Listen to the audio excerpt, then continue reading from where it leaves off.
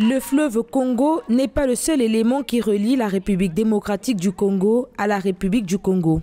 Depuis des décennies, les deux pays se partagent la passion pour le zango, un jeu traditionnel local.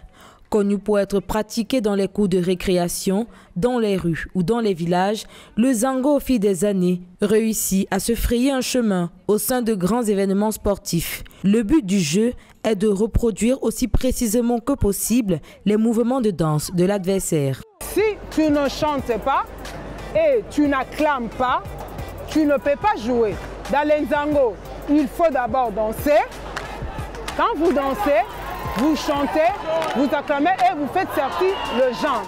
Codifié avec des règles précises, le zango se joue sur un terrain mesurant 8 mètres sur 16, marqué d'une bande centrale rouge et de deux bandes bleues sur les côtés.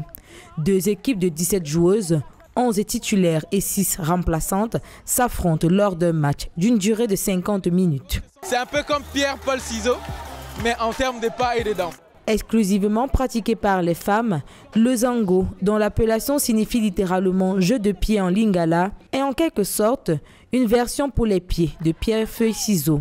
Mélange gymnastique, danse, chanson, le zango a peu à peu gagné en réputation en tant que sport, d'où son exportation au Gabon et au Cameroun. Le zango s'est vu inscrit aux Jeux africains en 2015 à Brazzaville et aux Jeux de la francophonie en 2023 à Kinshasa.